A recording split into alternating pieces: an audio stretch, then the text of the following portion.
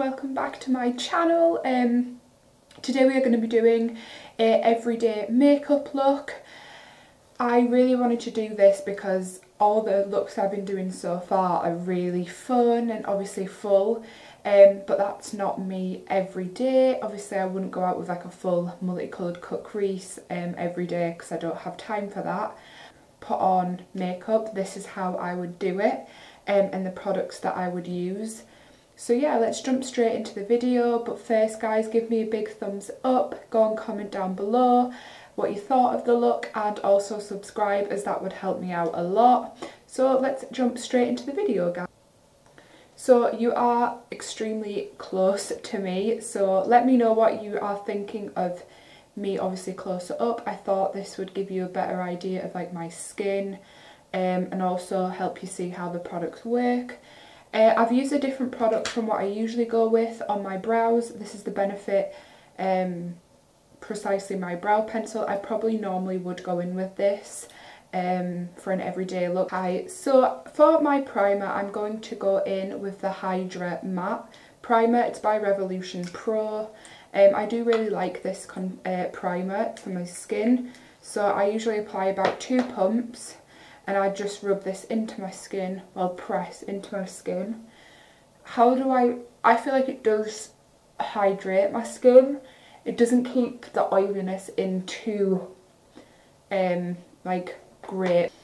So the next thing I'm going to go in with is my Revolution Conceal and Glow in the shade F5 and I'm going to go in and buff it in with the Real Techniques um, buffing brush I think like this things rubbed off. But I do prefer to use this when I'm like just doing my makeup in the morning because the beauty blend you have to get up, like wet it and then put it back on your face. Whereas this is like there, you know, it's just going to perform. Uh, so yeah, I usually use about two and a half pumps. I do still like a full coverage foundation every day. It might not be for everyone, but I like full coverage on my face. And then I go quite light on my eyes.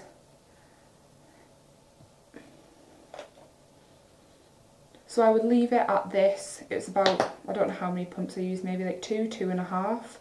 And then I'm going to go in with a concealer. I never, I've never really seen people speak about this, but I really love it. It is the Revolution Conceal and Fix in Light Sand. Even though I am really pale, I much prefer like a yellow undertone rather than a pink. Uh, I just think it suits my skin a lot better and it doesn't wash me out as much. But yeah, I usually just take like a buffing, small buffing brush and like dab it into the pot and just use a tiny bit. I don't drag it out into like V's or anything.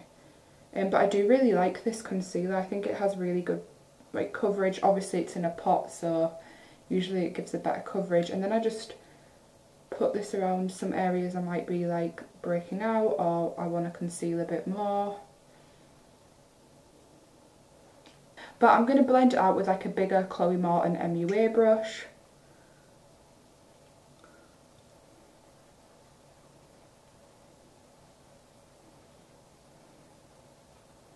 And then I'm going to go in with the powder and the powder I am going to use, I'm just grabbing, is, so the powder I'm going to use is the Rimmel Stay Matte powder.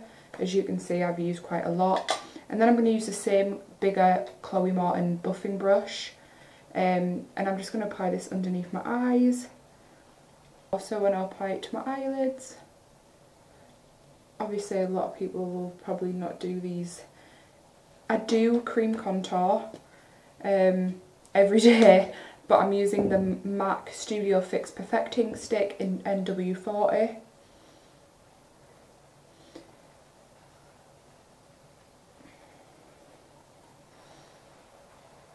So this is that and I'm going to blend this out now with the same um, Real Techniques buffing brush.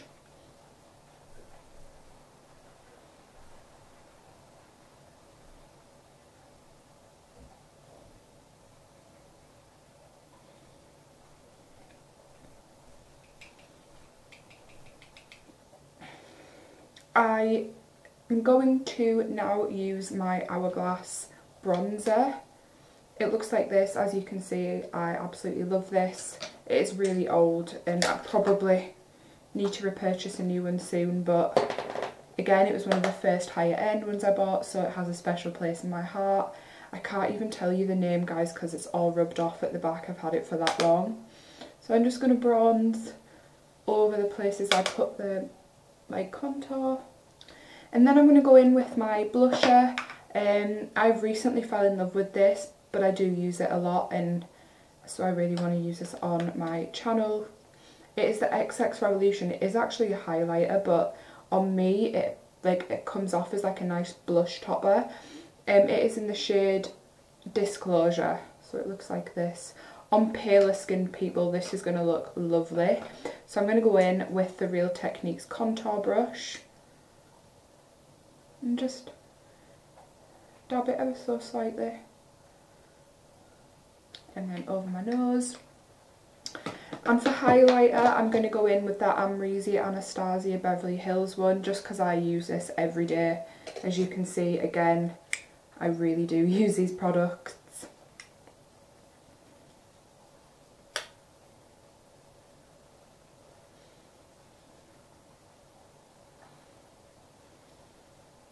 I'm so upset that this was like a limited edition thing. They really need to bring this out like as like a permanent thing in their range because I would 100% buy that again.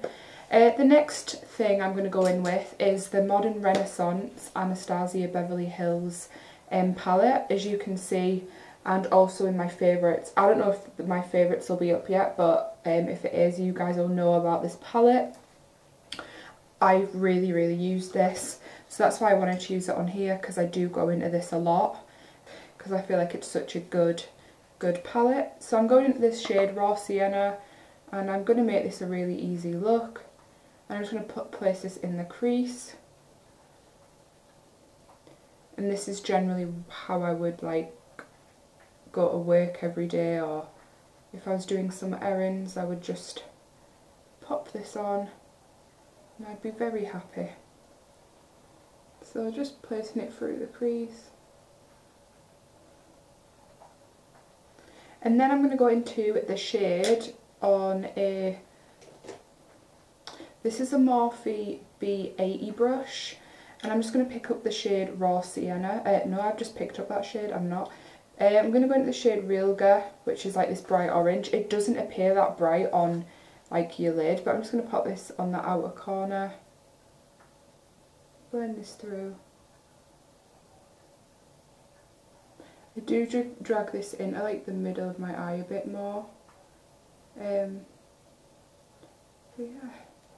I feel like the mattes in this are just so easy to work with that you don't really have to do much to get like the payoff or like put too much effort in to get the look how you want it which is probably why I love it so much. And then I'm just going to go into the shade on a Morphe 124 brush. Um, I'm going to go into the shade the Goldwood which is like almost empty but there's some in the corner, Primavera. Um, I'm just going to place this on the lid, on the inner part of the lid and just tap, tap, tap.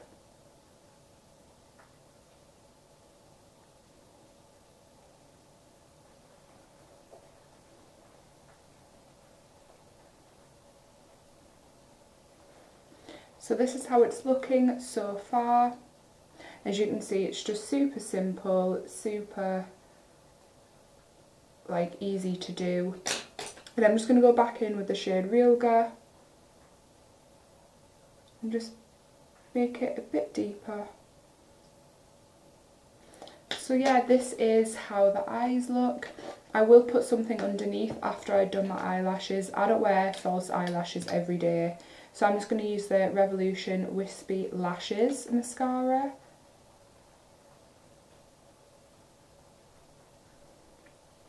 And then I'm going to go in my underlashes with the shade Raw Sienna. Yeah, so Raw Sienna, the first one I went in with, which is that, on the Morphe B80 brush. And I'm just quickly going to... But I just still think this is just really fun and... So next I'm going to go in with my lip. This is just a, literally, I've just put a clear gloss on. It is the Dior Lip Maximizer. As you can see, again, there is not much left. If you can see that in there. There's nothing left really in this. I need to pick up a new one but it's expensive. But I do really like this.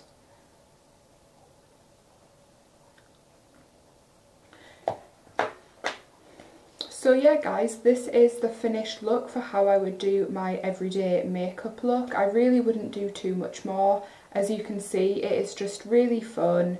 Um, there's not really much to going on. Um, it still really has a lot of colour and your eyes are still done. Um, but yeah, I hope you guys have enjoyed this video. Um, if you could give me a big thumbs up and let me know what you guys would like to see next down in the comments below and then also subscribe to my channel. That would mean a lot. But I will see you guys in my next video. Bye!